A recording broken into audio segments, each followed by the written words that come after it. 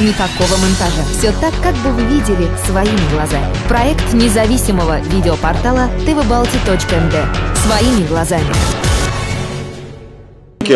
Э, Действительно, вопрос э, относительно необходимости включения в действующий тариф э, данного вида работы обсуждался еще в 2011 году, когда предприятие готовило экономическое обоснование на утверждение новых тарифов.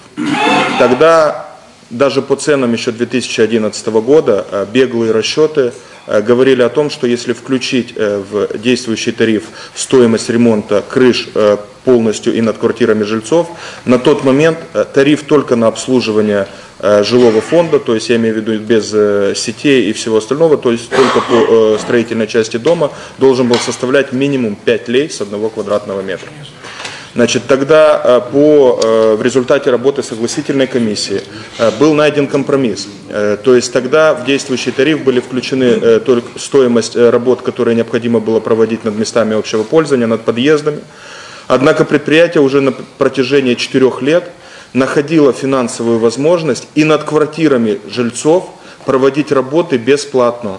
То есть в данной ситуации жильцы оплачивали только стоимость материала, значит стоимость всех ремонтных работ предприятие произ- производило за счет либо собственных доходов, э, либо там мы находили другие финансовые источники. То есть в данной ситуации, несмотря на то, что эти затраты не были включены в действующий тариф, предприятие брало на себя эту нагрузку, и эти работы проводятся бесплатно и по сегодняшний день. Э, Что мы готовы проводить и еще в ближайшее время, сколько для этого позволят э, финансовые возможности. Поэтому в данной ситуации, э, особенно учитывая растущие цены и вообще экономическую ситуацию, в которой сегодня находятся э, все, включая и жители муниципия Белс, э, мы также считаем, что вряд ли есть целесообразность сегодня включать полностью все крыши в это все. Почему? Потому что это автоматически приведет к удорожанию тарифов в разы. То есть здесь даже не о процентах идет речь, а именно о разах.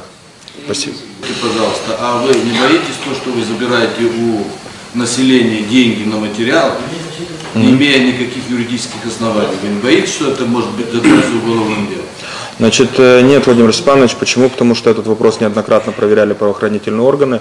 Э, Что значит никаких юридических обоснований? С каждым жителем заключается договор отдельный, в котором э, предусматривается оплата через кассу суммы на э, те материалы, которые он приобретает. Кроме этого, в договоре предусмотрена гарантия. Предприятие последние три года проводит ремонт и кровли и дает гарантию на это 10 лет.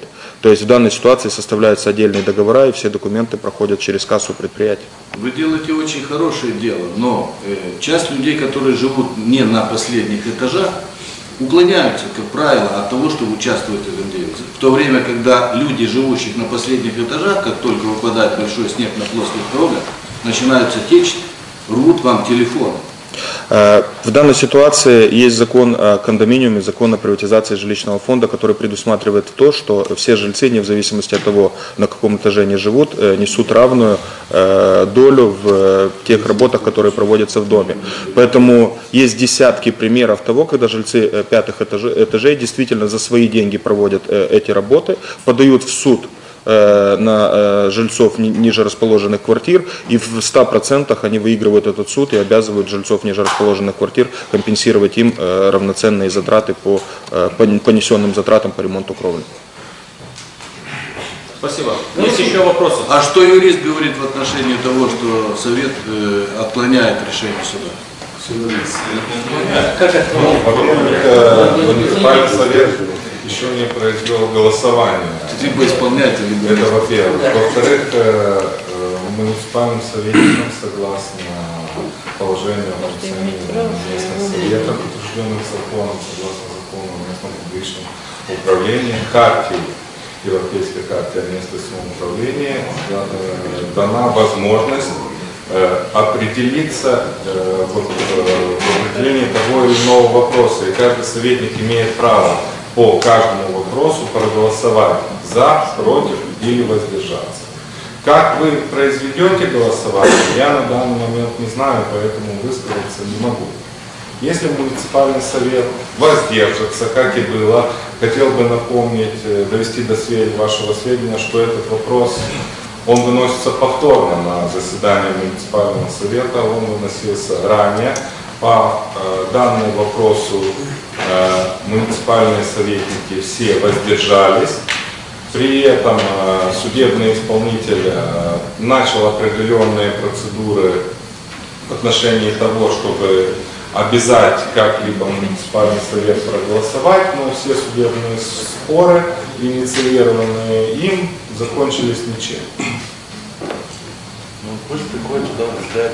Пусть э, есть судебный исполнитель, пусть приходит с каждым муниципальным советником разговаривает и убеждает его в том, что он должен проголосовать. Другой вопрос заключается в том, как и сказал э, Сергей Петрович, что некоторые наши правозащитники, которые позиционируют себя так э, в рамках муниципия, благодаря им сложилась такая ситуация. В ходе судебных споров по данному делу, судебные споры продолжались период э, где-то в течение одного года, мы в рамках судебных заседаний и суду, и истцу старались объяснить, что в первую очередь э, изменение данной фразы, которая предусматривает, что ремонт на самом деле должен осуществляться всех крыш, приведет, несомнение, к увеличению тарифов не на определенные 10-15%, а, как сказал Андрей Семенович, в разы. Это тем самым увеличится нагрузка для жителей муниципия Белл. И муниципальный совет при принятии э, данного решения первую очередь исходил из финансово-экономического положения, которое на данный момент существовало в муниципии и в стране в целом, исходя с той финансовой нагрузки, которую могут вынести э, жители муниципия Белс.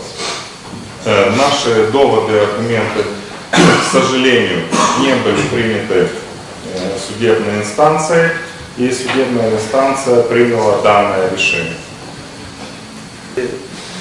Совет посчитает, что в связи с тем, что все квартиры практически приватизированы, то есть жилой фонд на сегодняшний момент не приватизированных квартир осталось 4%.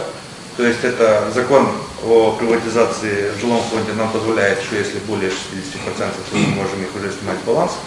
То есть мы это можем сделать. Но тогда в таком случае мы проведем просто жилой У нас не года будут трущобы. Перед катастрофической ситуацией. Ну, варианты тоже есть. Не, ну Иван Яковлевич, мы просто, чтобы... Ну, конечно, понятно, что мы так можем сделать. Вы представляете себе пятиэтажка, за которой никто не Я не смотрит. сказал, что это нужно сделать. Я Ну, сказал, что есть еще некоторые... для- Просто для информации. Да. Спасибо за информацию.